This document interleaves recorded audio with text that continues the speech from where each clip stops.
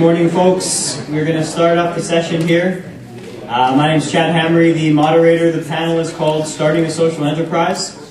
Um, now, I've called it Starting a Social Enterprise, not starting a social enterprise, but starting a social enterprise. So the emphasis is meant to be on the starting, uh, the process of actually taking an idea that you have, creating an organization, a company, and just going with it, balls to the wall, um, until it succeeds.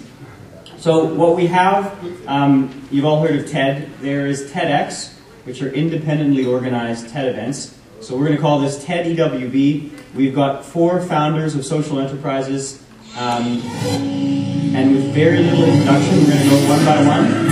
Our first speaker is Mary Roach, founder of Le Lion.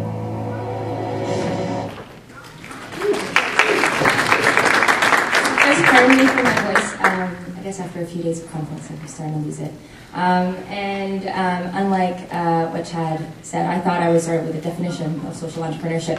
Um, I spent the last year at Oxford, um, which is also the home of the Skoll Center for Social Entrepreneurship, and what I found was like a large amount of debate about what is a social enterprise. And I finally came upon a definition that I loved, and I thought I would share it with you. Um, it comes from a man named Philip Santos out of INSEAD uh, who did his PhD, I think, out of Stanford.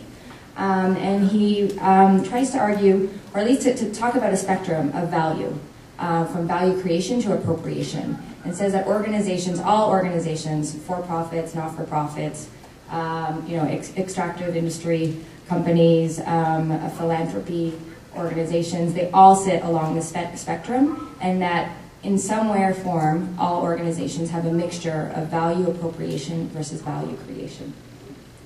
And then he introduces this idea of externalities, which um, some of you may be aware of, but the idea that um, externalities exist when economic activity creates an impact, positive or negative, that lies beyond the objective function of the agents developing the activity.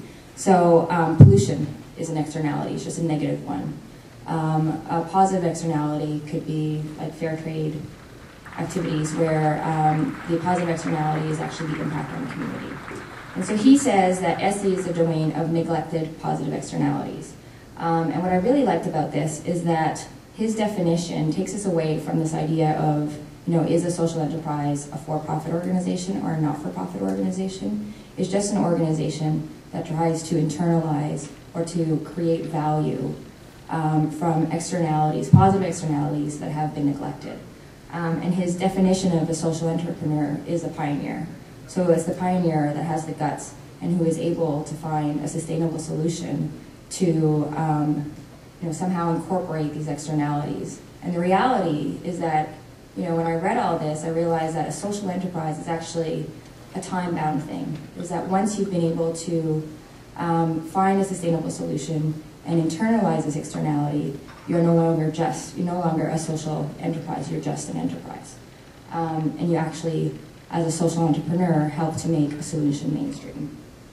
So a bit about us, um, we're Lilian. Um, I'm, I have a partner based in the UK. She's um, a Moroccan friend that I met at Oxford. Um, our main goal is to create a line of clothing uh, for women kind of in their 30s and 40s, made in Africa, um, and as much as possible um, increasing or have as much as possible African content. Um, regard and in terms of where we want to sell, we kind of want to just be a great brand around the world. So that also includes uh, selling and marketing within Africa. the um, for the definition of our for our name, um, we really wanted to come up with a strong brand um, that both reflected the strength that we see in African women um, and also kind of be inspirational. Um, and then lastly, I guess we also wanted to, to play on uh, certain elements that we've been seeing in society. So um, in July, McKinsey came out with a report uh, talking about the strength of African nations and their um, growing economies. So um, how this started, um, this, this uh, company started basically for, with my love uh, for African cloth. Um, and um, anyone who's ever traveled to West Africa specifically will have probably spent a lot of time in tailor shops trying to get things made. Um, and we'll realize very quickly that it can be a frustrating process. So what we would see basically is that on one end you would be able to get traditional clothes, and that's what you could probably get with a local tailor in Africa. But then on a far end is if you were, you know, looking at the catwalks in New York City or London, you could get designer-made clothes. And there was really a lack of kind of affordable and fashion-forward clothing, and so this is where the Leon came from. Um, we did uh, some competitive landscape.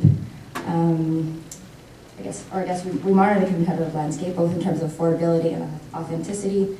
Um, and this is just kind of a bit of a snapshot of what we saw specifically in the market in Ghana. So where Mr. Price was starting to come in, Mr. Price is a South African retailer, uh, which is extremely cheap, but not necessarily overly African. Um, uh, Woodin, um, Woodin is a subsidiary of like the Vlisco um, set of companies, um, and they've started to get into clothing. While they make a lot of their uh, cloth in Africa, they make their clothing in India and China.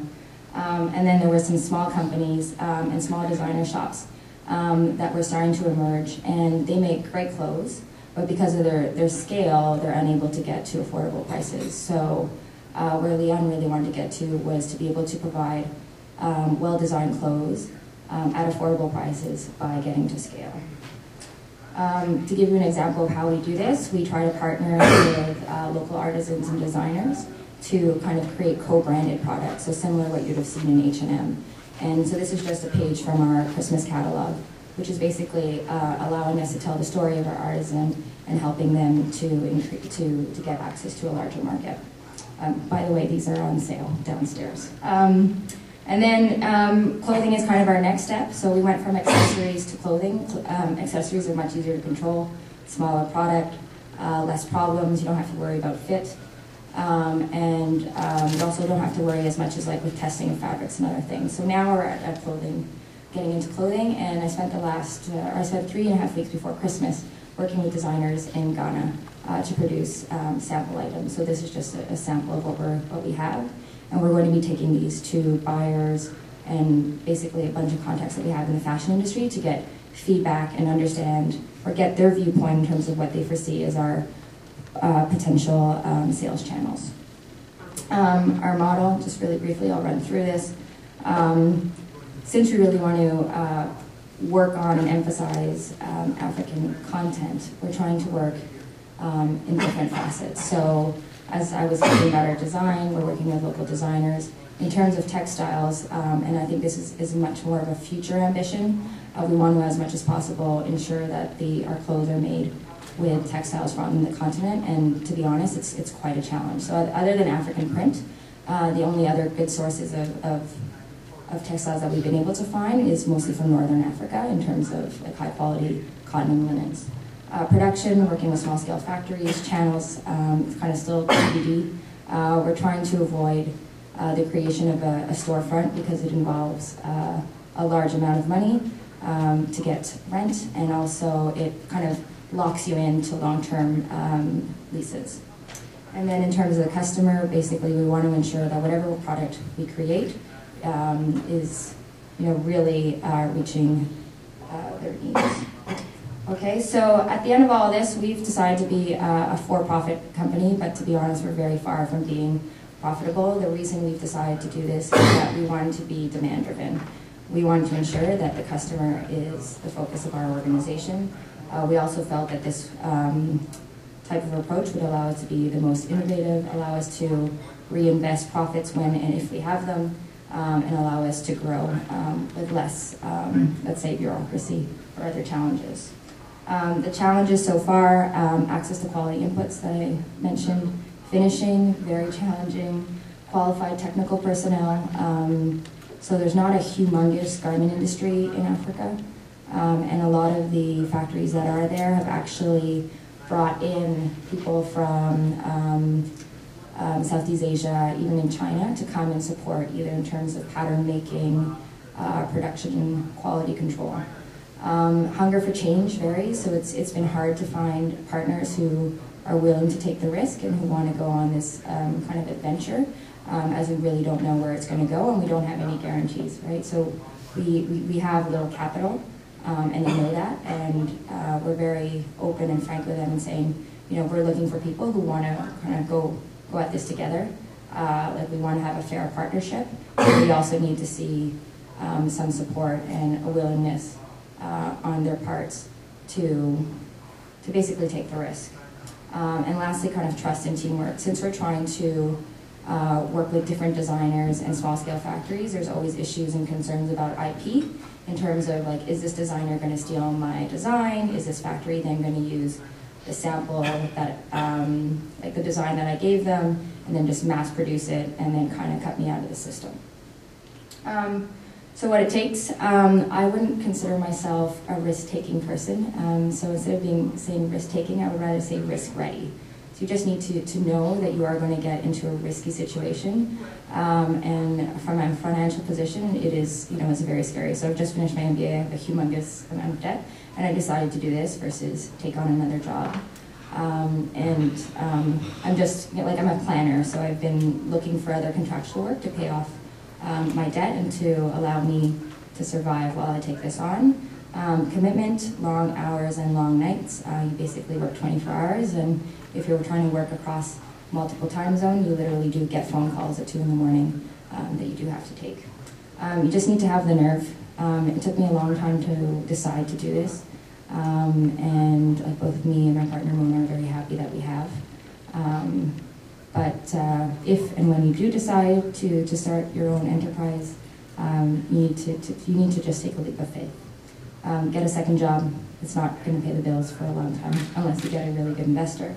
And then be prepared to fail and walk away. So um, there's the potential that you've identified an opportunity, and there's also the possibility that the solution you've defined is not the right one for that opportunity, right? To, to somehow um, take advantage or bring value kind of to that, that externality that we discussed. So that's, I think that's it for me. Um, next steps, we're trying to get feedback on our samples.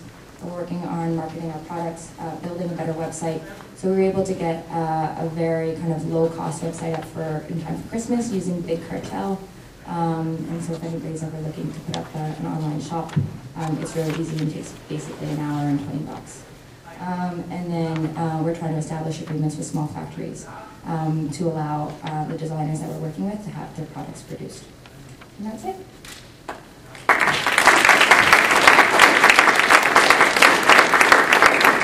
Thank you, Mary. Our next speaker uh, is Ahmed Katish. Uh, he is the founder of K & Co.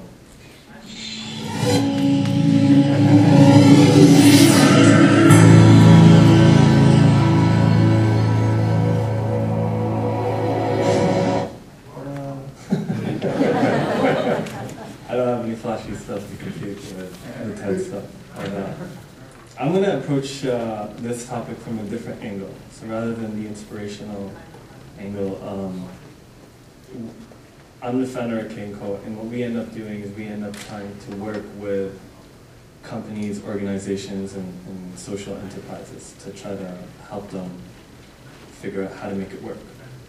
Um, and so the reality is, and, and, from my experience, and this has sort of been replicated in studies and researches throughout the world, whether it's in the UK or, the States or Canada, is that 50% of social enterprises will fail before they hit five. Um, and I'd like to start with the big insight first, uh, because A, uh, I want it to be real, and, and I want it to, and, and I guess from my experience, it's important, and, and whether it's like big non-for-profits I've worked for or small social enterprises, it's good to keep this in mind so you can stay focused on what it is that you want to do. So what I want to do is I want to sort of work backwards from this statement and tell you from our experiences why this is the case, and then I want to sort of walk you slowly through our model at K & Co to figure out why we sort of looked at this and sort of try to break it down so that we could work with people like you guys all the time. Um, the reasons that I've found in terms of why this statement is true is broken down into four. The first one is that philanthropy is hard to sell. Um, and that's a reality. Uh, depending on, on it, it's, it's difficult because, and I'll explain sort of why later, but, but, but that is true. And so like when you start social enterprise, and it is that fine balance of sort of having a profit venture and, and, sort of having that social cause, it's really important that you understand that philanthropy is really hard sell. Um, the second reason is low risk behavior, and that's sort of what you were speaking at. Um, because of resources and because of capacity, and, and, and don't see these as sort of the negatives, these are sort of like, I guess, the realities, if we look at them as the obstacles. Um, we can't take low risks um, because we're either working a second job or the investors that have put in the time and money into us need a much more detailed output. Um, and, and that sort of leads us to that third point of the short-term versus long-term goals. Um, if you're a not-for-profit and uh, you want to start a social enterprise and you get funded, um, you are funded in a particular model in such a way that they force you to just produce very quick short-term goals, short-term goals, short-term goals. But if you look at it sort of at the other side, and you look at sort of regular businesses, businesses sort of invest themselves in that long-term goal strategies and these short-term goals that'll sort of help them reach what it is that they want to reach. And so that obviously provides a challenge. And the fourth one is what we call at the DAT-TF. Um, and that's a don't ask, don't tell failure syndrome. Um, and, and, and then I'll explain sort of why, why that is important um, to look at rather than a crux as sort of an opportunity for us to learn. So like I was telling you, um, because philanthropy is hard to sell and because resources are tight, um, and not and they're tight not just for social enterprises, even for entrepreneurs, even for corporate, like even for investors. Even if you're a tech startup and you've got a lot of angel funding money and you're on a twenty million dollar budget, it's still really tough to sell philanthropy. And, and, and, it is, and, and so what I what we found that people end up doing is they end up sort of employing a one size fits all. So yeah, sort of employing like, you know, we gotta have a Twitter account, we have to have a Facebook group, we have to have um, an affordable online store, we have to have the, our mission statement, the mandate, so on and so forth. Um, but in but in business, it doesn't work this way. Um, and, and, and that's a reality. But because it is hard to sell, we sort of like fall back into like, okay, this is what we're comfortable with, this is what we've seen other people do, and we move forward with it. Um, money management and acquisition, like I was telling makes it even that much more harder to, to take a risk. And, and, and, when, and, and when you limit yourself in terms of the risks that you take, it also makes it really hard to innovate. Whether it's from a service line, whether it's from a product line, whether it's organizational, whether whatever the case is. If you're operating at this very sort of narrow focus, you have to make sure that everything that you do is very calculated, is, it, it, is sort of set up in a way that will allow you to, to continue doing what you're doing.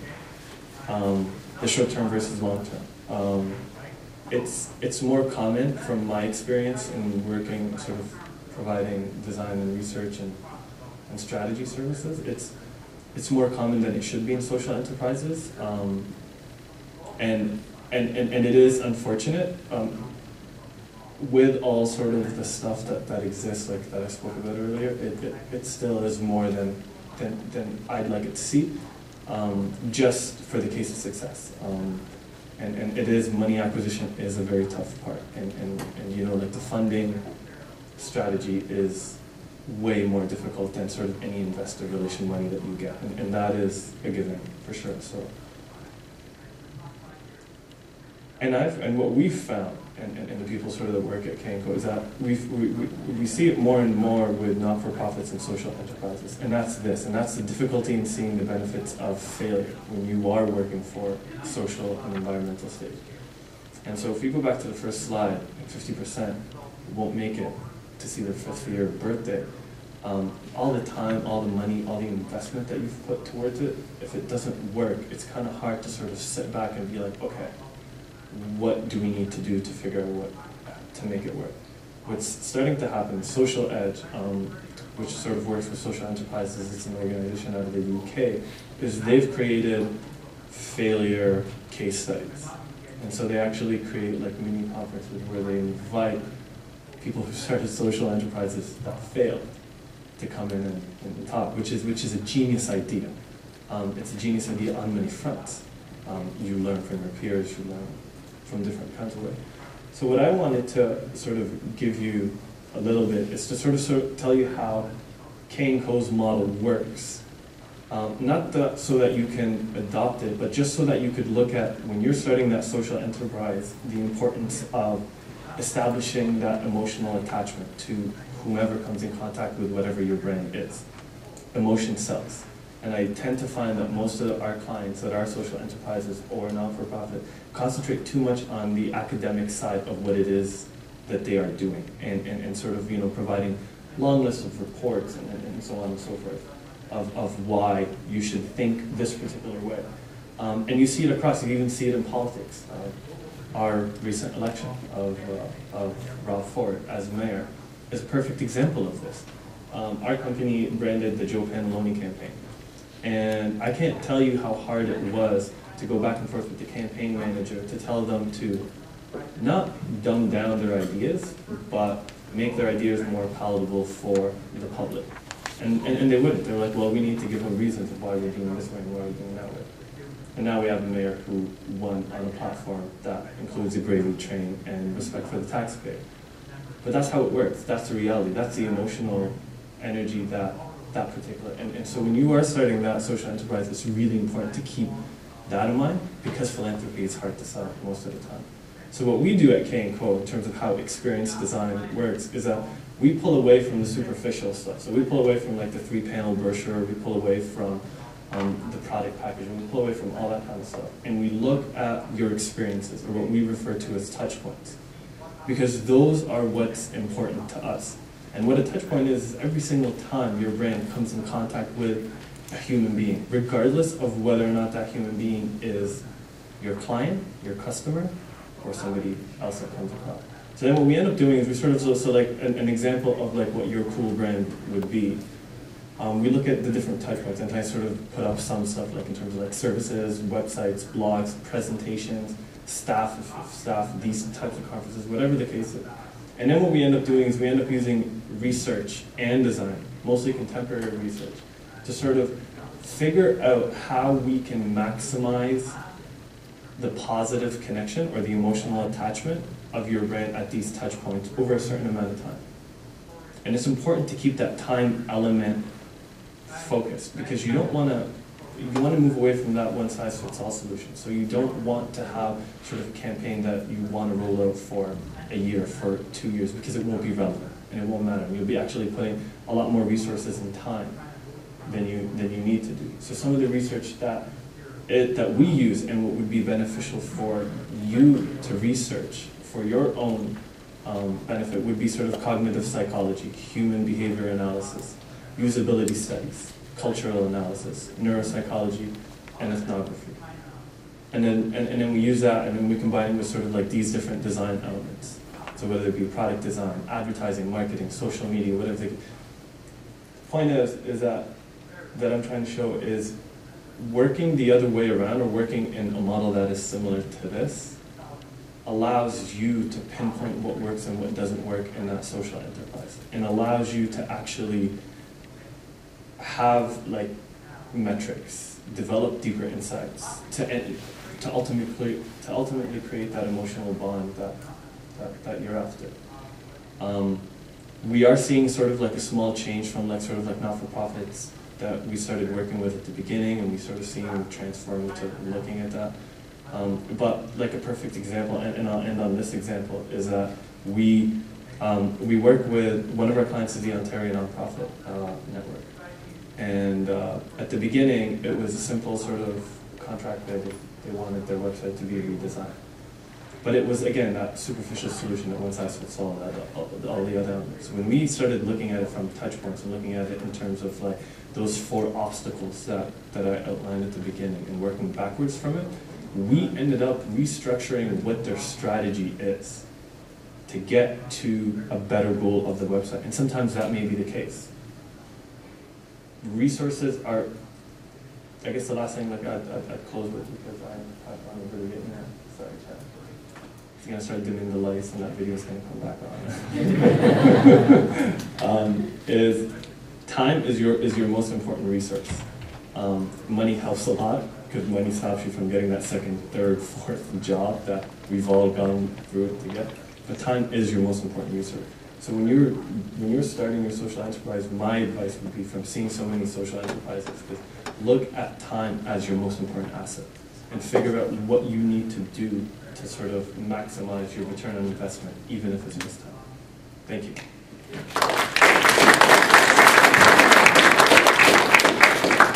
All right, thank you, Ahmed. Uh, next, we have Asaf Wise, who's the Executive Director of uh, Youth Social Entrepreneurs of Canada.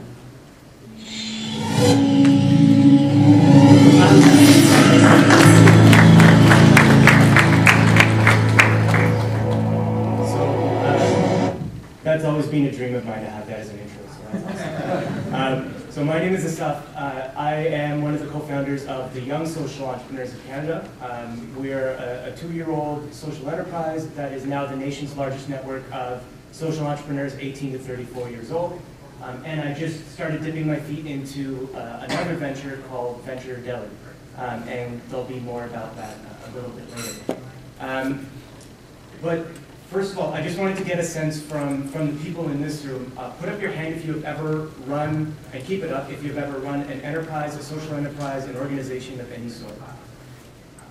Okay, awesome. So keep it up. And put it down if it has not been stressful. You're lying.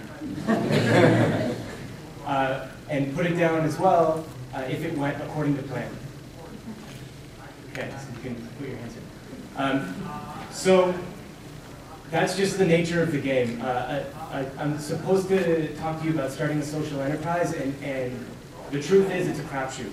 Um, just like starting any organization, there's lots of stuff that you won't know. Um, you're, that's why I, I, don't get too invested in writing business plans and writing work plans because by the time I'm done writing them, they're pretty much irrelevant.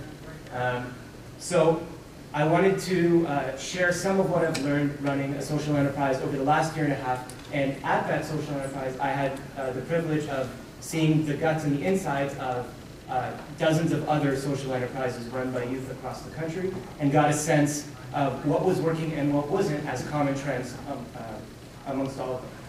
So is it? Oh, amazing. Okay. So uh, my goal today is to give you a little bit of insight into how to survive social enterprise. Um, so, I'm glad it didn't just jump to plan.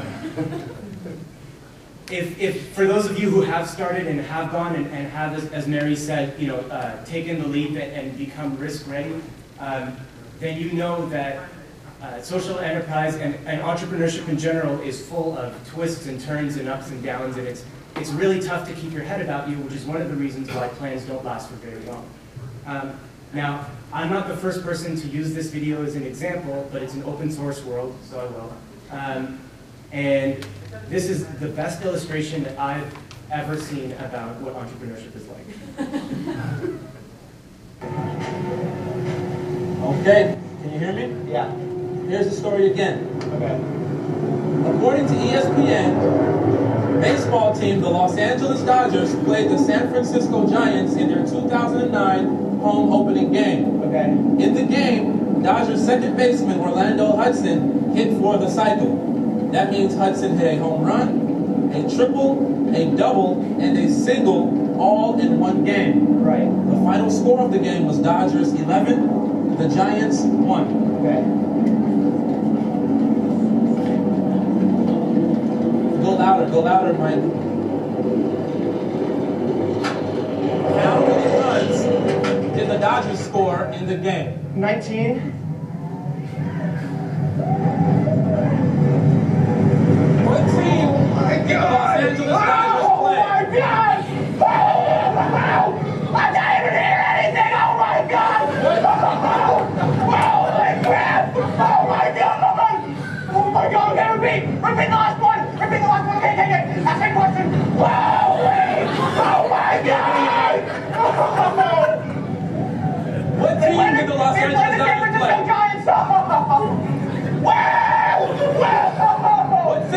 When you hit a home run, a triple, a double, and a single? Um, like a, like an overall something.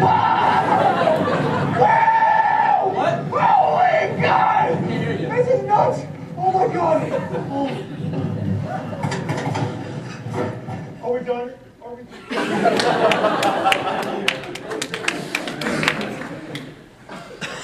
So uh, that's not far from the truth. Um, I, I, have been a pretty stress-free person all my life. I started a social enterprise. Um, it ran into some problems, as all endeavors do, and I found myself at the age of 25 starting to get headaches from stress, um, starting to get certain like tics, like I would have to do things with my hands just, just out of impulse.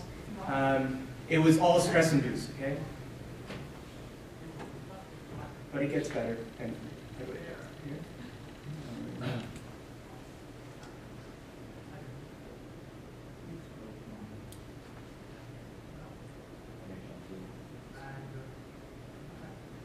That, that's not what it is. So, um, this is what life is like during social entrepreneurship. And, and it's really stressful. And, and so what you do is you end up going and talking to people whose, whose advice you value. They might know about business. They might have started something themselves. They might just be a confidant for you. And they'll tell you all sorts of advice. And it's good advice, and you'll ignore most of it. Um, and you'll make the mistakes that they literally told you not to make. I know this because I did it. Um, so I want to talk to you today about three mistakes that I made and three pieces of advice that I should have heeded from the start, and hopefully those stay with you. So it was when my ride came to an end after about a year and a half that, uh, that I realized that social entrepreneurship is actually a lot like puberty. Okay? In that, I mean, think about it. It's, it's, it's weird. It's, uh, you, you have all this restless and creative energy um, you want to collaborate with uh, social enterprises of the opposite cause, um, or of the same cause, it doesn't really matter. Right? Um, people are always asking you what you'll do when you're mature, and, uh, and, it's, and it's awkward, and it creates an identity crisis. Every social enterprise goes through an identity crisis of, are we a nonprofit or are we a for-profit? Where is the line in between? There is an internal tension that you'll have to navigate and that your team uh, will have to decide where their comfort zone is. Um, we uh, started out very much uh, on the social impact side because, no, no surprise, that's what compelled us to start what we did.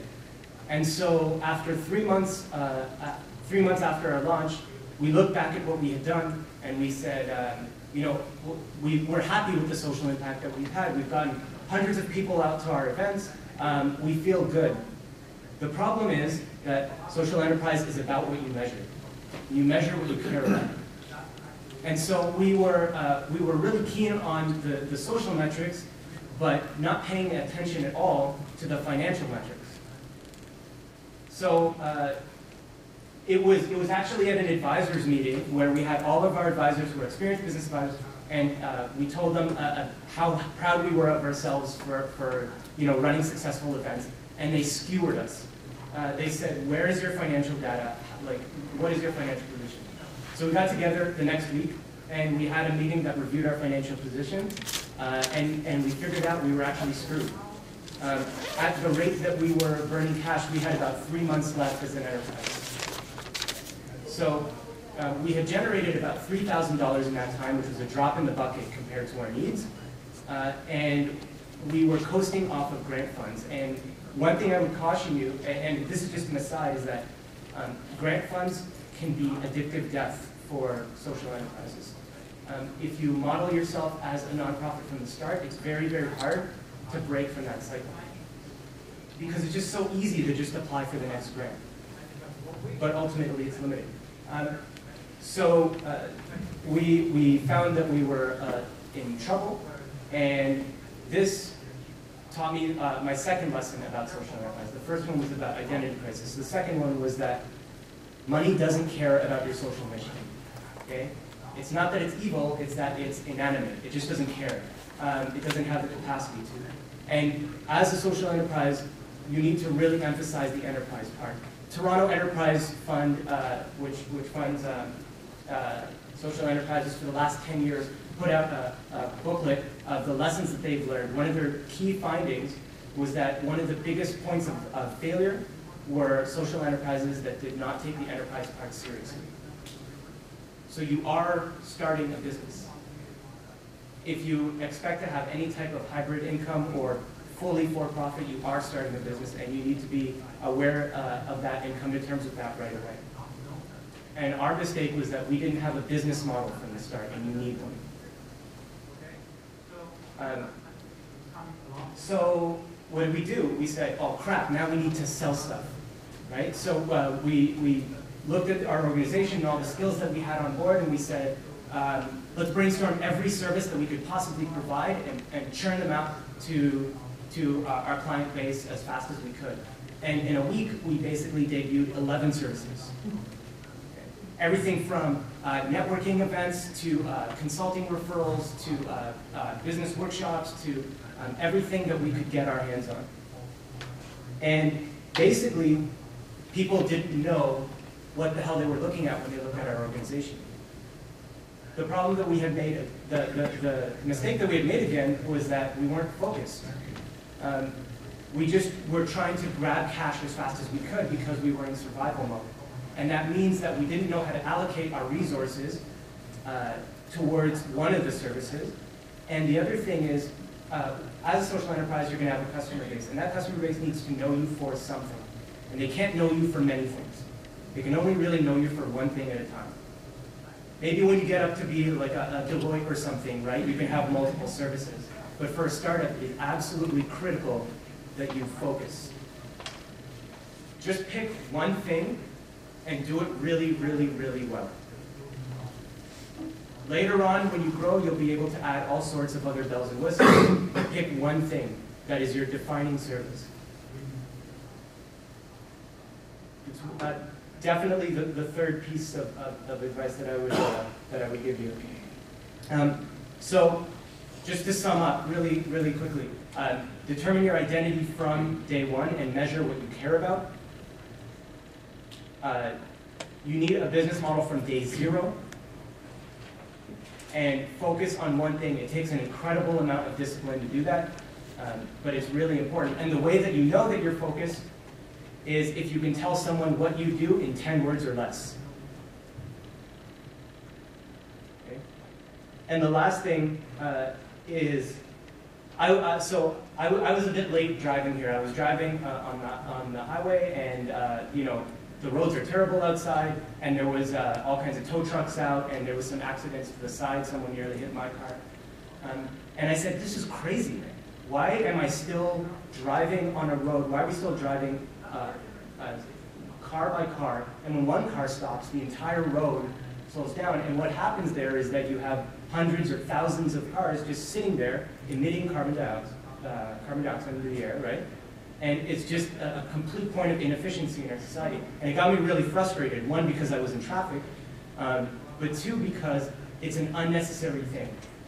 And what I, what I want to uh, point to you guys is that there are lots of people with good intentions in the world, but not a lot of them have the requisite skills to take what they want into the market.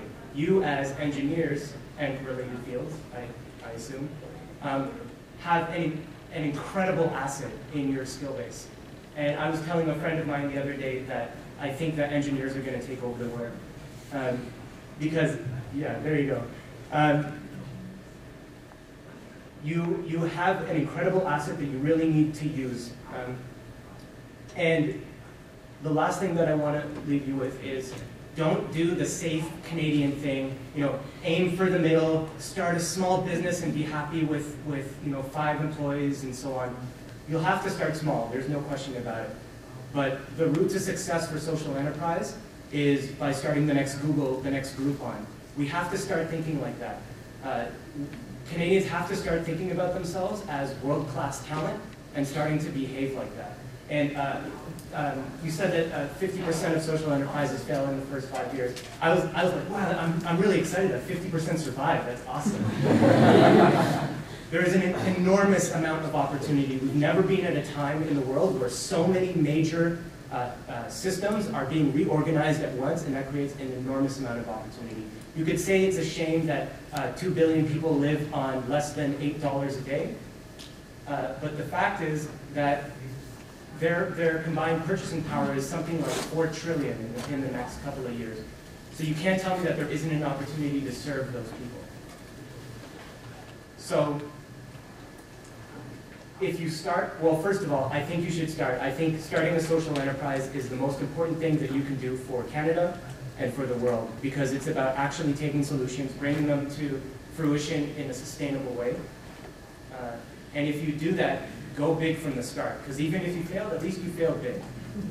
Um, and, and I think that's the most important thing that you can do. So thank you.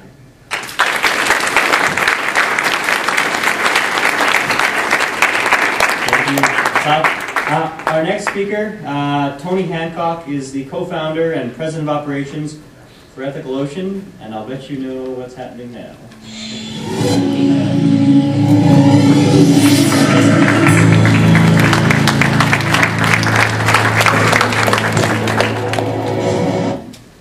All right, I'm cross that off my bucket list. Um, I want to start this off just to, I want to get a feel for, for the crowd out here. Who has heard of Ethical Ocean before? Keep them up for a sec, I want to, okay. So we're doing an okay job, at least. did.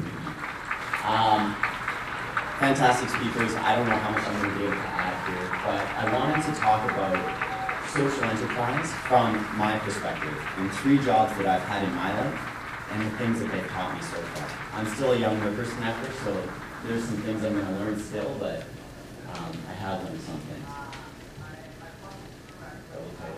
So in 2007, I was lucky enough to work with Engineers Without Borders in Malawi.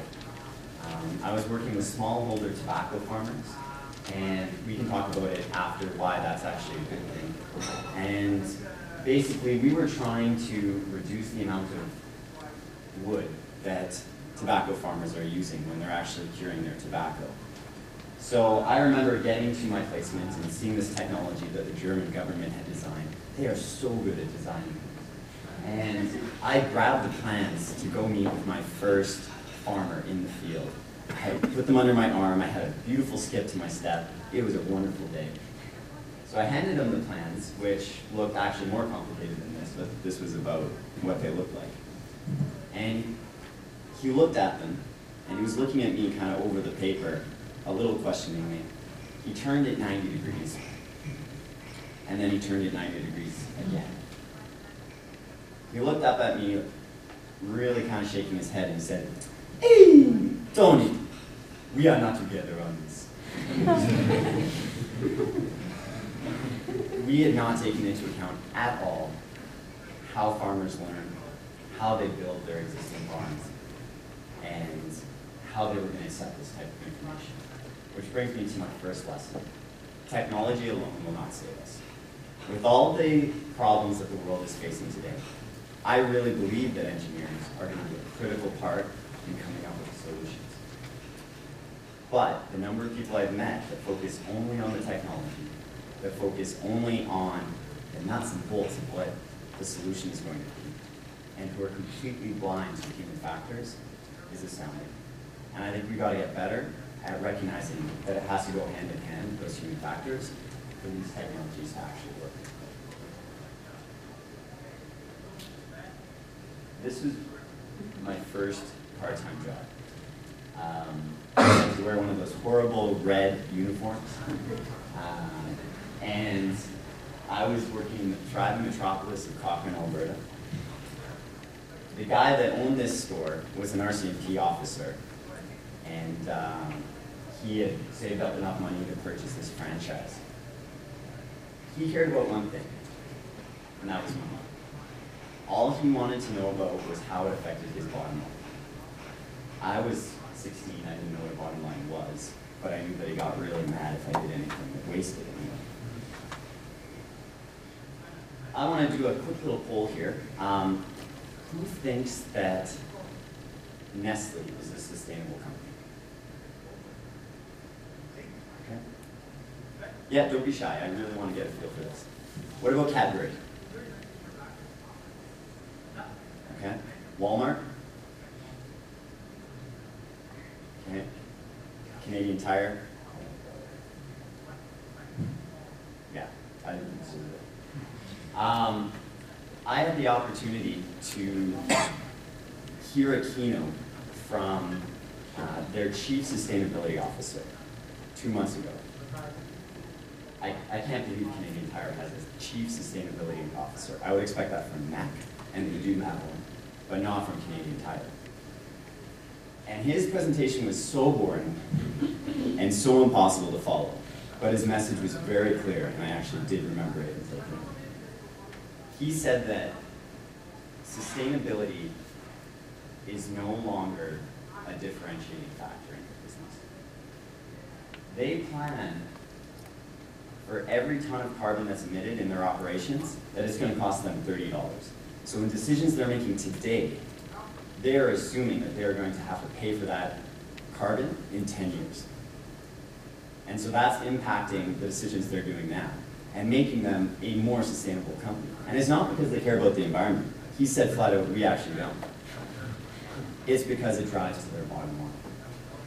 So lesson number two that I've learned recently is that the social part of your business is actually no longer a differentiating factor. You have to have a business, an idea that stands on its, on its own, and definitely the social part of it is something wonderful and it's a great story to tell, and it's you know something that, that, that does set you apart when you look back at what you've done. But it's got to be a business that works on its own. You can't rely on that. Everybody's going to start doing this. Finally, Ethical Ocean. For those that didn't put up their hand, I'll give a brief overview. Uh, we're an e-commerce site. We sell eco-friendly, fair trade, organic products, and we try and offer something for everybody that is more ethical than what they currently are using in their home. We've had, we launched eight months ago. We've had some decent successes since then.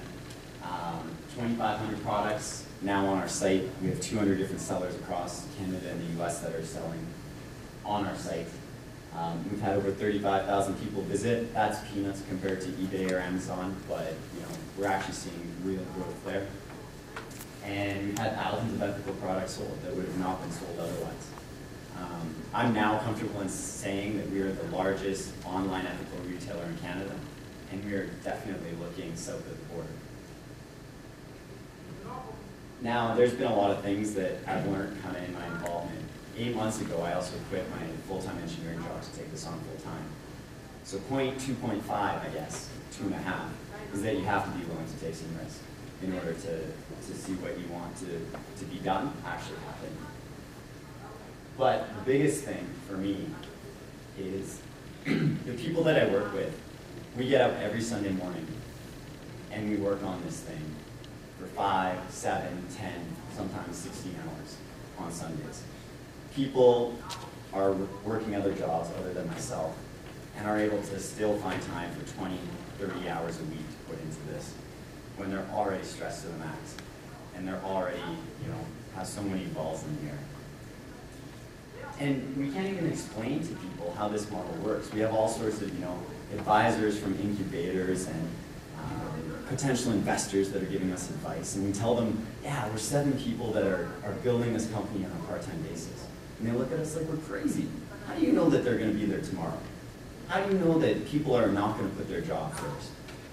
Well, we're now two years after when we first got together, and we're still volunteering 30 hours a week. In fact, it's probably going to be 35 hours a week next month. You know, it just keeps getting more and more committed, and we keep seeing more out of these people. So lesson number three for me, there's somebody missing from this picture. I should mention. I tried the Photoshop, it didn't work very well. Your team is absolutely everything. You have to be able to get along with these people day in and day out. You need to know they have your back, and you need to inspire each other. The day we sent out our email to first tell people that this site even existed in February, we all slept over, got up at 7 in the morning, blared some African music, had some waffles, and sent it all together before we all went to work. That's the kind of people that you need on either side of you if you're going to make something like this work. Thanks a lot.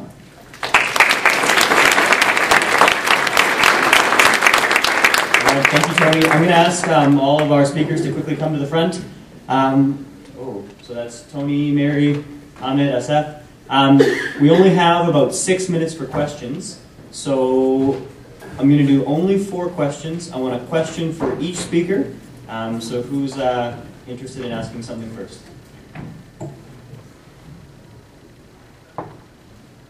Yeah, Mr. Emsworth? I had a question for Tony on that last point. If the team is all that is like is what really matters, just like what's your strategy to like get that team to be social? Or Uh, suggestions? How did we attract those people in the first place? How did we come together as a or, team? or keep it, or just like what's your strategy? Uh, well, I think we, we work together and we play together. That's, that's step one.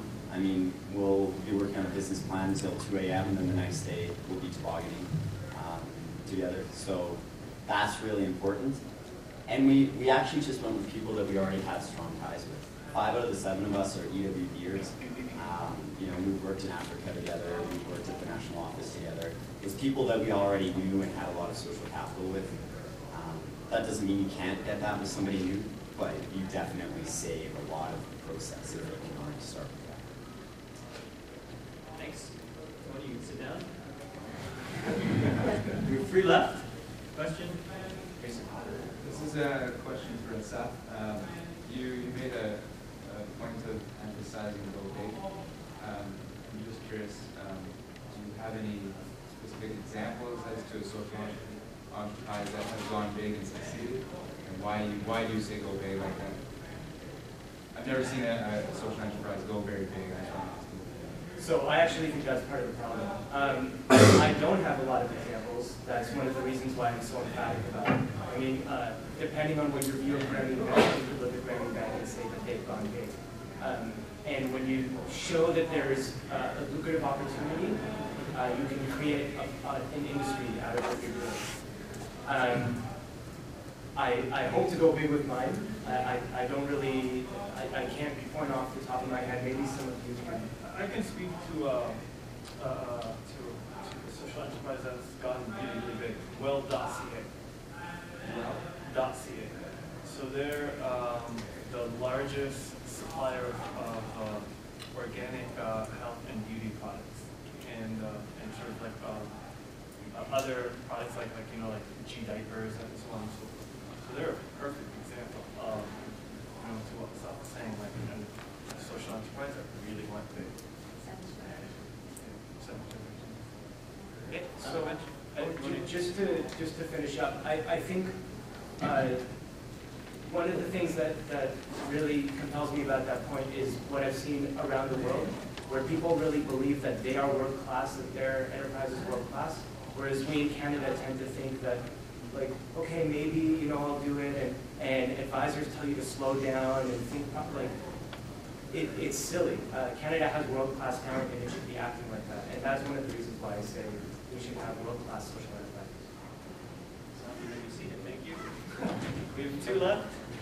Uh, This one's for Mary. Um, So Mary, with uh, social enterprise uh, such as the the one that that you're involved in, uh, it- it's fairly complex. You have people on one side of of the world you know, creating these products and people possibly you know, north or west sort of buying these things.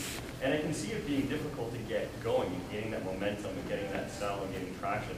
And I wonder what your strategy is for sort of getting something to the point where it's, it's sellable, that you can get people on board in both places.